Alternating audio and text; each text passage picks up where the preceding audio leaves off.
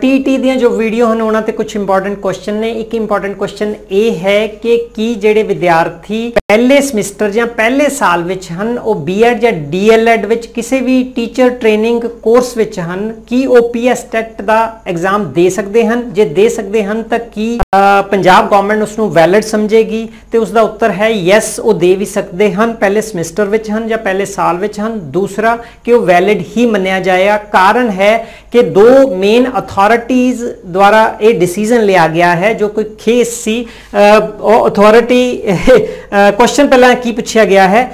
Important ਹੈ, ਜਿਨ੍ਹਾਂ ਨੇ ਵੀ ਪੁੱਛਿਆ ਹੈ, ਉਹਨਾਂ ਨੇ ਕਈਆਂ ਦਾ ਭਲਾਈ ਕੀਤਾ ਹੈ। ਕਿਉਂਕਿ ਕਈਆਂ ਨੇ ਇਸ ਦਾ ਉੱਤਰ ਨਾ ਜਾਣੇ ਬਿਨਾ ਇਹ ਭਰਨਾ ਨਹੀਂ ਹੈ ਫਾਰਮ ਸੋ ਜਦੋਂ ਵੀ ਸਟੇਟ ਟੈਟ ਨਿਕਲਦਾ ਹੈ, ਤੁਹਾਨੂੰ ਭਰ ਦੇਣਾ ਚਾਹੀਦਾ ਹੈ। ਕੁਐਸਚਨ ਹੈ ਸਰ ਜੋ ਐਨਸੀਟੀ ਦੀ ਨਿਊ ਗਾਈਡਲਾਈਨਸ ਨੇ ਟੀਈਟੀ ਦੇ ਬਾਰੇ ਚ ਮੀਨਸ ਫਰਸਟ ਈਅਰ ਵਾਲਿਆਂ ਦਾ ਟੈਟ ਵੈਲਿਡ ਮੰਨਿਆ ਜਾਏਗਾ। ਸਰ ਇਹ ਪੀਐਸ ਟੈਟ ਦਾ ਲਾਗੂ ਹੋਏਗਾ। ਸਰ, ਅਗਰ ਇਸ ਬਾਰੇ ਕਨਫਰਮ ਕਰਨਾ ਹੋਏ ਤਾਂ ਕਿਸ ਤੋਂ ਪਤਾ ਲੱਗੇਗਾ ਗੁਰੂ ਨਾਨਕ ਦੇਵ ਯੂਨੀਵਰਸਿਟੀ ਤੋਂ ਜਾਂ ਕੋਈ ਹੋਰ ਅਥਾਰਟੀ ਹੈ? ਸਭ ਤੋਂ ਵੱਡੀ ਅਥਾਰਟੀ ਨੈਚੁਰਲੀ ਉਹੀ ਹੈ ਜਿਹੜੀ ਟੀਚਰ ਐਜੂਕੇਸ਼ਨ ਨੂੰ ਕੰਟਰੋਲ ਕਰਦੀ ਹੈ।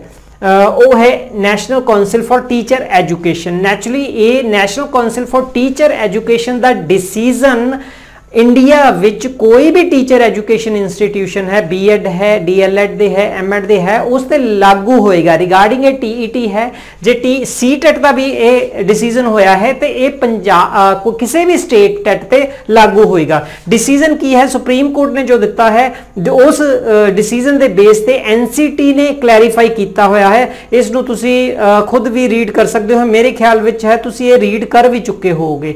ਮੈਂ ਵੀ ਉਸੇ ਐਵੀਡੈਂਸ ਨੂੰ ਯੂਜ਼ ਕਰ ਰਿਹਾ ਹਾਂ ਇਸ ਦਾ ਸਿਰਫ ਇੱਕ ਕਨਕਲੂਜਨ ਪੜ੍ਹ ਲੈਣਾ ਚਾਹੀਦਾ ਹੈ it is clear from the order passed by honourable supreme court ਹੁਣ ਤੁਸੀਂ ਅਥਾਰਟੀ ਪੁੱਛਦੇ ਹੋ ਸੁਪਰੀਮ ਕੋਰਟ ਨੇ ਕਿਹਾ ਹੈ of India that a candidate who has been admitted in any of the TTC teacher training course and undergoing the teacher training course can be said to be pursuing ਮਤਲਬ ਤੁਸੀਂ admission ਲੈ ਲਈ ਹੈ pursuing ਸ਼ਬਦ ਵਿੱਚ ਆ ਗਏ ਹੋ pursuing ਸ਼ਬਦ ਉੱਥੇ ਵਰਤਿਆ ਹੋਇਆ ਹੈ such teacher training course and a fair reading of clause 5 2 of NCT guidelines a clause read ਕੀਤੀ ਜਾ ਸਕਦੀ ਹੈ a person who has been admitted in TTC B.Ed ਜਾਂ DLED ਐਂਡ ਇਜ਼ ਪਰਸੂਇੰਗ ਹਜੇ ਉਹ ਉਹਨਾਂ ਦਾ ਰਿਜ਼ਲਟ ਫਾਈਨਲ ਨਹੀਂ ਆਇਆ he or she can appear in T E T exam ਇੱਥੇ ਹੁਣ ਟੀਈਟੀ ਐਗਜ਼ਾਮ ਲਿਖਿਆ ਹੈ ਟੀਈਟੀ ਦੇ ਅੱਗੇ ਸੀ ਵੀ ਲਿਖਿਆ ਜਾ ਸਕਦਾ ਹੈ ਪੀਟੈਟ ਵੀ ਲਿਖਿਆ ਜਾ ਸਕਦਾ ਹੈ ਕੋਈ ਵੀ ਚੈਲੰਜ ਨਹੀਂ ਕਰ ਸਕਦਾ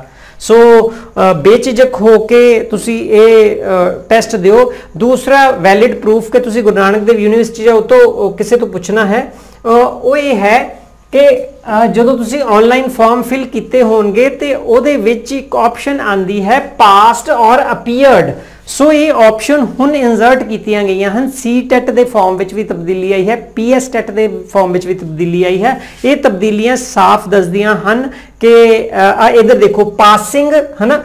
ਬੀਐਡ ਦਾ ਹੀ ਜੇ ਭਰਿਆ ਹੋਇਆ ਹੈ ਪਾਸਿੰਗ ਹੈ ਅਪੀਅਰਿੰਗ ਹੈ, ਇੱਥੇ ਆਪਸ਼ਨ ਆਂਦੀ ਹੈ। ਸੋ ਇਸ ਤਰ੍ਹਾਂ ਇਹ ਐਵੀਡੈਂਸ ਨੇ ਦੂਸਰਾ ਤੀਸਰਾ ਜਿਹੜਾ ਹੈ।